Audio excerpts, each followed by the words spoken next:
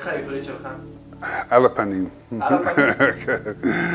I understand pretty well, but uh, speaking is, uh, I, I, never got, I never was able to. Many times I went to the ulpan, I'm still in uh, Kitabet. I was playing in the, uh, the professional summer league in, uh, in, in, New York. We win the game, and after the game, uh, luke walks into the locker room. He said, I'm, my name is Shmulik, I'm from Israel and I'm looking for a player. He said, but it's two things. We only need a player for six games. Uh, we're playing in the European Cup for 25 years. We never made it out of the first round. And second, the coach needs to see you. I didn't care, I was ready to go. Elevator door opens, a player comes out, two meters 12 and about this wide. And I knew Maccabi done brought another player uh, to look at in the last minute. I'm supposed to be flying to Israel in the morning. So it took all the air out of me. But, and he came and he sat down and uh, the lady came with the cakes and it was just enough cakes for everybody and he took four cakes. That's the story. They've hired me because of some cakes, uh, not for my talent. When he took those four cakes, Ralph saw him and he wasn't thinking about the other players. And that's the magic in Ralph. He felt that I was a team player, that I thought about everybody else. He took those four cakes and I got the job. We got, I got to Israel. We made it past the first round. Then we had met up with CSKA. Can't believe how we beat CSKA. They're still talking about it.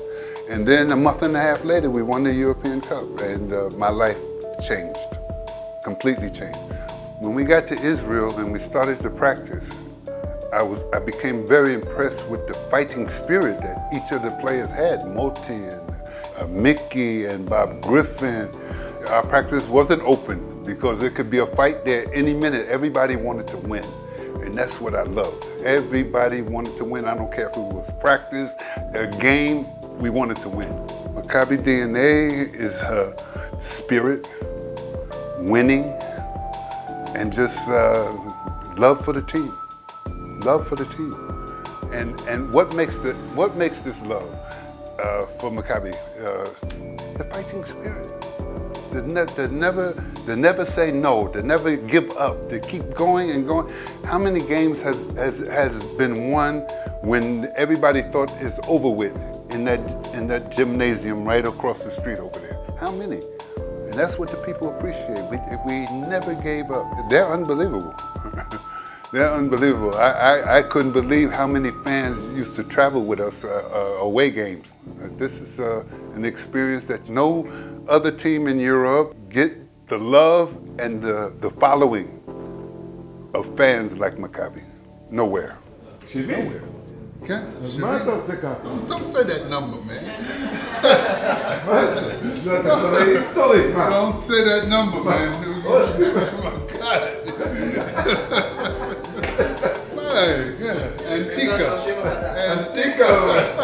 are special for us, for Maccabi. So this is a special cake. Wow, wow. We are going to give you this cake, mm -hmm. but you promise me that you take it to Aruba at home and you keep for me one piece. For sure. But not small piece. A, a nice piece. piece. a nice piece.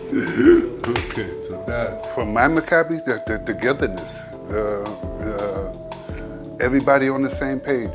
That's, that's the key. Everybody has to be on the same page. And, and the same page is uh, winning the European Cup.